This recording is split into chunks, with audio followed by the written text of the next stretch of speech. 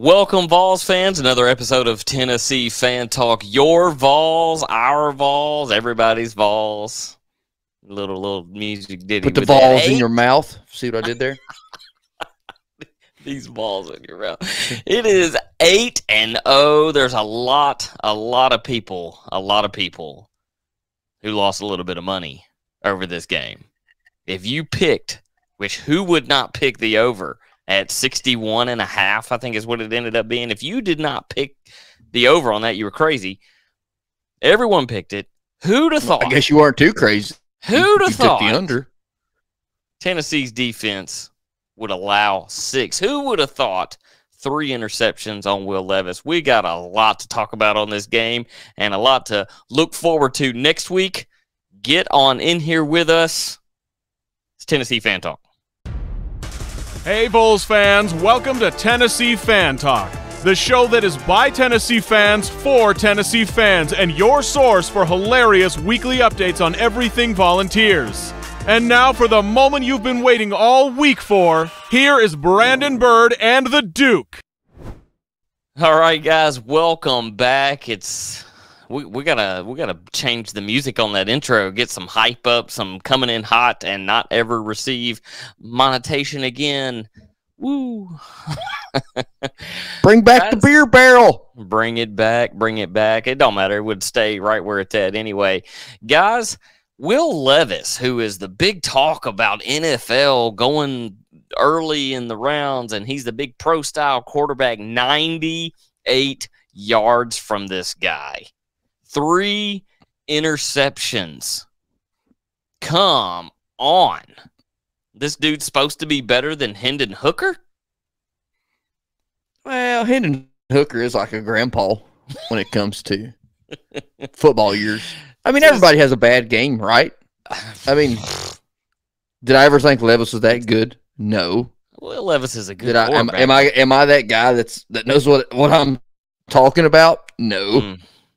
So I Only- mean, that's I'll just. I mean, only 19 first downs for Tennessee. They're averaging 27, 28, only 19. A uh, little bit of a slow start for them. 177 rushing yards on 40 attempts, 245 passing yards, 19 for 25. Average attempts 9.8, three touchdowns, 422 yards for Tennessee against yet another ranked opponent. We are five for five on putting down ranked opponents. We are the ranked opponent killer. Kentucky mean- will not be ranked after this week, and Tennessee, maybe number one. Maybe. I just don't see how we move at all. I, I'm okay. I mean- I'm okay with them not being number one because then Georgia has even more of a chip on their shoulder going into the game. I, I'm okay with them staying. Yeah, I mean Georgia won, so why why would they move? Ohio State, I mean, slow start, dominant win at the end of the day. hmm Why would they move? Georgia end up, you know, giving up 20 and then holding them. I mean, let's be honest, Georgia. sorry, a little, a little late in the game. It's I drank I drank five tall beers at the B Dubs. by the way, I don't. Here's here's what. Here's the thing, real quick, before I get into this. People give B Dubs heck, like, oh, you're going to B Dubs. You yeah, B Dubs had four dollar Bud Lights. Okay, I'm okay with B Dubs. I, I know. they Yeah, you got all bad- these up. They catch a bad rap from all these know, uppity kids have to go like to these to these uh boutique sports bars. No, give me B Dubs. Hit us up, B Dubs sponsorship. sponsorship. But g- give me B Dubs. I have been a firm believer in B Dubs. I like And and what I. I I read something online today. It's like Tennessee is giving decades worth of ass whippings out for what we've dealt with over the past fifteen years. Call us Captain Insano this year because we're going to open up a can of whoop ass on you, Captain Insano. Call to see a Captain Insano.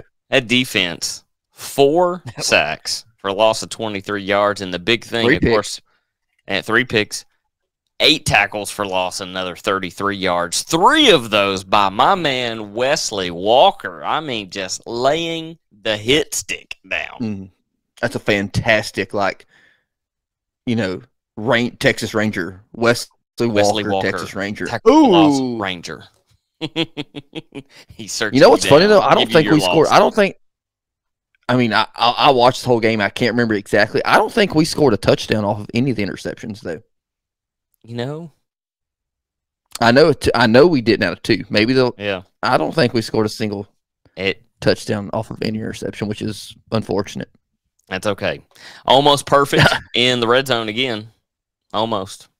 Yeah, if, if you Hmm. look at some of the stuff that we didn't close up on offense, can you imagine how many more points? Can you imagine? Then, every, then, the- I then was a little worried starting out. would have been full, and everyone Yep. would have got paid.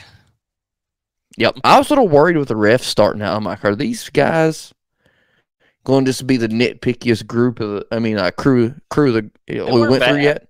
They weren't bad. Calling holding on, a, hol- calling holding on a pat on a, a freaking extra point, calling, you know, illegal blocking or pass offensive pass interference. That was behind the line of scrimmage. Come on now. I I think they just yeah. It was close. It was close enough where they went ahead and called it. Whatever. Uh, I did love seeing Baby Stoops on the side whining over uh, substitutions because he thought we substituted and uh, love seeing That him. that is that that's that's a sad thing to think about being a Kentucky fan. Like you are having your Nick Saban right now. if you think about it, like this is Kentucky's Nick Saban, and they're not even ranked. right. I mean, it's the best coach they've ever had, right? I mean, It I, I is. don't know. And no, I I mean statistically speaking, it's probably the best coach they've ever had, Yeah, and yeah. there's s- s- still stink. I mean, still fourth in the SEC, fifth maybe fourth for sure. Uh they, They, might be third this year. They'll be third this year. Right now they're fourth in the East. Yeah, oh, that's what I meant. Excuse me, in the East. I didn't mean the Yeah. SEC. I meant in the East. Excuse me. Pardon my French. Who is it? Yeah. Tennessee. I mean Georgia, Tennessee. Georgia, Tennessee, 5 and 0, 4 and 0 in the conference. South Carolina and Kentucky both Mm. two and three in the conference, five and three overall. Florida one and four in the conference, four and four overall. Missouri two and three in the conference, four and four overall. And Vandy, poor It's Vandy. That Vandy. win today might have saved Drinkowich's job for another year. It might have. It was that was a that was a win. That was a good win. We we definitely They beat South. South Carolina in October. They beat Yes. South Carolina in October in October. in Columbia, Columbia versus Columbia. Uh, we all Yeah, we all picked South Carolina. I want to. sure. Hey, I do want to throw a quick little shout out to our guest from last week, Timmy. He picked 45-20 Tennessee. He was the closest of the three of us. Uh, spot, Way to go, Timmy. spot on right there. But if we're playing Prices Right rules, you said forty-two. He busted. Yep, closest to the actual price without going over. We you always play prices right rules. Always. But as far as close to close, you said 42-28. He said 45-20. So uh, awesome pick, Timmy. Awesome pick. Next week's games. Who would have thought six points? Let's be honest. Who would have thought six points? Next week's game. Running game. Next week's game. Is that what we're talking about? Ne- no, well, I'm just saying next week's games. Uh, we, we get a full slate of SEC back next week, and there there's going to be some there's going to be some good ones. We're all going to be Tigers fans, We're even though they're going to get boat raced by Alabama. Let's be honest.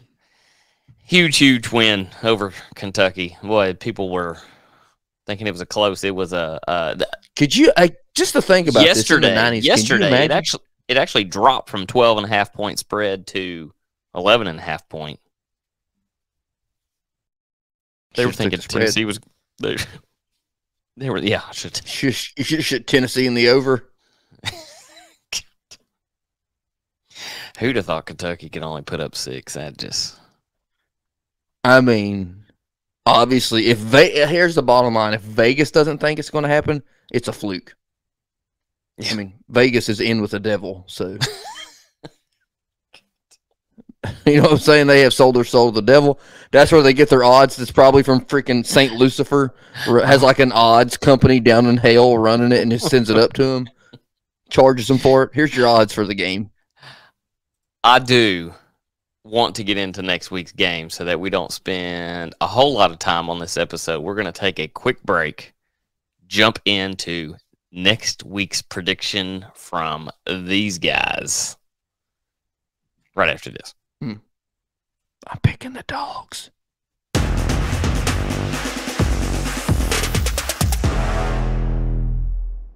All right, guys, welcome back. We got a big slate of games next week. You got uh, Kentucky and Missouri. The don't know. Snooze fest. snooze fest of the week is right there. Actually, it may not be. Hold on, I got another one for you. Florida, Texas A&M, Arkansas. definitely Nah. Texas A&M on that one. Uh, Liberty and Arkansas, Alabama, LSU. Let's go LSU. Yep. that would be that would be. A, We're all going to be win. Tigers next week. battling for snooze fest of the week. You had, of course, the Kentucky, Missouri. You also have South Carolina, Vanderbilt. nah, I think it's the worst game of. I mean,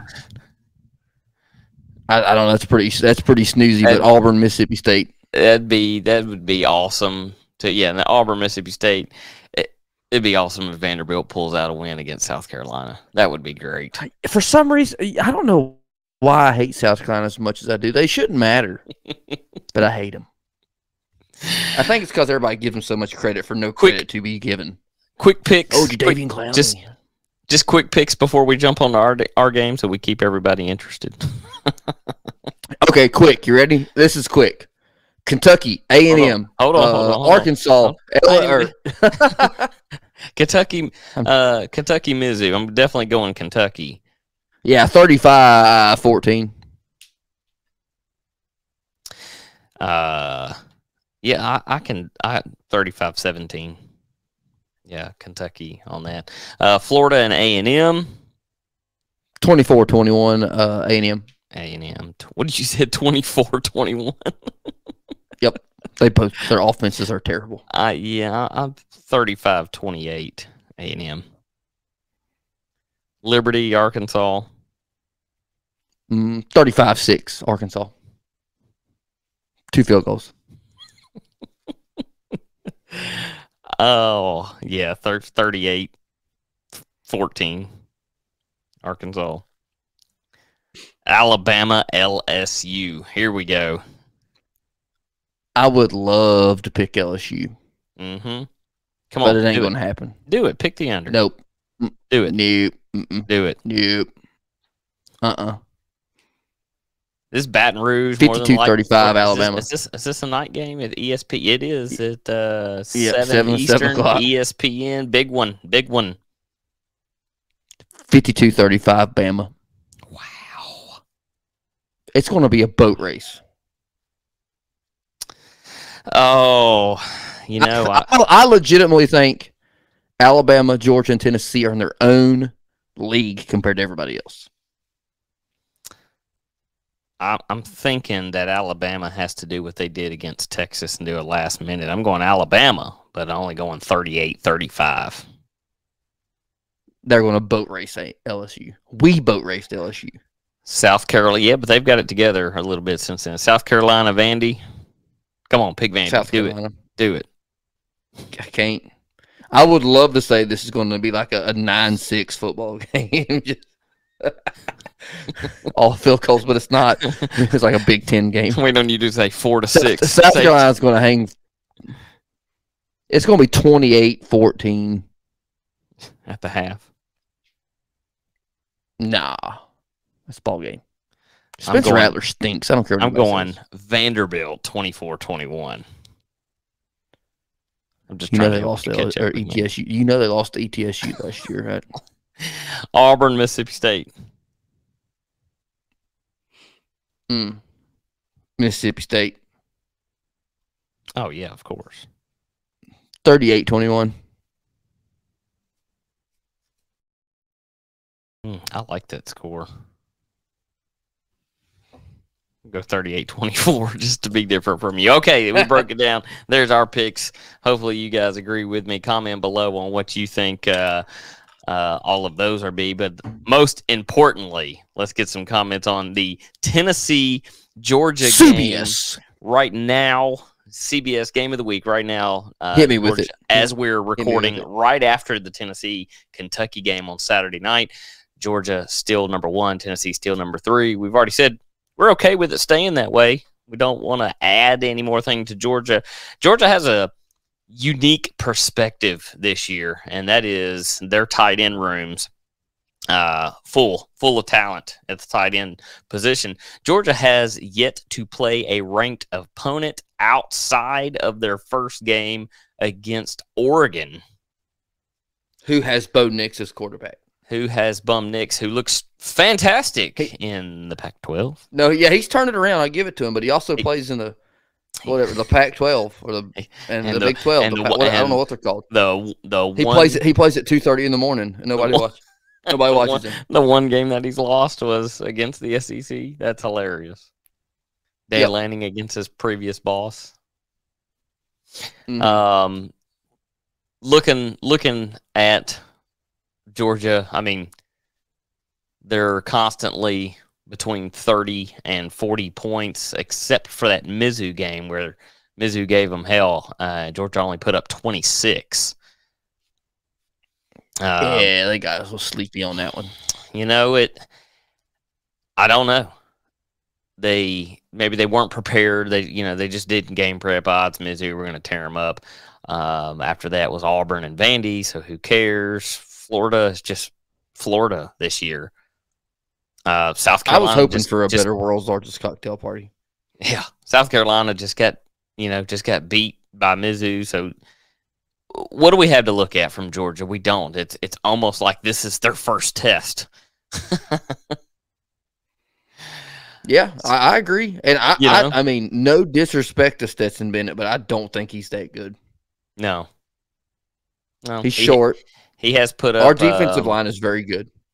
2000 2,033 yards. That Brock Bowers is insane. You know, there's there's things we, we have I- to watch. Will I agree. this, this new Tennessee defense, this new amped up Tennessee defense, corners played well, every, line played well. Does Georgia's line have the ability to stop the scheme and the twists and the different looks that Tennessee's defense can give them? I don't know. Last year's Georgia team, yeah. This year, maybe not. you here's a like a spin zone that I'm about to hit you with. We we both agree that this game against Kentucky, our offense didn't play that well. Right. Maybe our offense is not playing that well. Gives the defense a little rest, Mm-hmm. which keeps them fresher. Yep. Spin zone. I'm just spin zoning it here. I, I, And that's all we played so well on defense, on the defensive side, because our guys were not gassed because they score every 33 seconds. And they're like, they're like, damn it, we got to go back out. we got to got to get You know, I back just, out I just had two sips of Gatorade. Shit, I got to go back out. third down is the defense at third down conversions. They held Kentucky to two. Two. Come on. Now, now we weren't great. We weren't even 500, 5 for 12, uh, but we were two for two on fourth. You know what's the difference? You know what the difference is? Though we go for it on fourth down. Don't matter where we are. Yeah, yeah, fourth and 20 to get to go for it. Um, I mean, I'm sure it's something like the statistics show. That's what you got to do. It's some kind of like whatever the analytics. That's the word I'm looking for. Analytics. They go for it. Yep. And do well. And and Josh Heupel gets me as an analytics guy. Like he is he is the epitome of an analytics guy. Is Josh Heupel. All right. The, our biggest pick right here Tennessee, Georgia. I know there's one thing I Well, I mean, for my psyche, you know what I'm going to say. I will not be looking at any type of odds or not even. What's the spread? I think we're thir- I think we're a 13 point dog right now. They said some yeah, that- in the broadcast of tonight's game they had a 12 and a half. That will probably change uh, come out tomorrow. That's a big. That's a big. I think I think it excuse me, drops. that's a big difference. I think it drops to somewhere what, eight, six and a half nine? to seven and a half, somewhere in there. Georgia's going to win 42-35. I like the score, but I'm going the other way. Well, I'm sure you are. I mean, down in my heart, I want to pick Tennessee, but you know I don't. That's kind of like me sending that text today saying, "Oh, This is one of those games that we we It was you know we, we get a lead and Kentucky comes back. I do that for my psyche, and because I've done it every game this year I love- so I want to keep guys, doing it. Guys. I didn't do it against Tennessee. I, the the text that I get from from both the Duke and what a horrible intro! I didn't even announce this out or nothing. Good lord, I'm just so Ah, hyped. cares? I'm just hyped up about this game. Uh, the- But the text I get him talking about, oh, we're playing sloppy. We're gonna lose this in the end. And then uh, from uh, from Luke, uh, our resident Florida fan, he said uh, Florida's not gonna win another game. I hope they get He's ready to fire out Sunbelt Billy. he said, uh, "Yeah, we need to fire this. We'll hold out on S O B. he wanted to get rid of old Sunbelt Billy. I mean, no no disrespect to Luke, but that's one of the problems with the whole SEC in a whole as a whole is you want to fire your guy right out the gate. If it ain't your guy, you want to fire him. What happened? I mean, people are like that on Josh Heupel too, and they better not say it now because hmm I mean that son of a gun might be coaching Oklahoma in four years. No, no, no, no. I love how he was out for blood today. Um, and he'll we'll pay him. We'll Oh, yeah. we'll pay him. oh yeah, Which you already, which we already are. He's probably top ten, right? I don't. I mean, I don't know. I, I think Sunbelt Billy is probably not the higher. I I didn't think Brian Kelly was the hire, but he has seemed to turn something around there. There's been a switch flicked around there. Uh, and then poor I mean, Brian Kelly doesn't seem like he's the hire, but I think he has the ability of. He might be a d bag. He probably is a d bag. But if he wins, it doesn't matter. Yeah. You don't tell me you don't think he gives me d vibe vibes. he does. He does. He does. So does the coach from Arkansas. I don't even know his name. Sam Pittman. Yeah, he's probably got stock in like Golden Corral. he's probably like a shareholder in the Golden Corral. This penny stock. Uh, you know.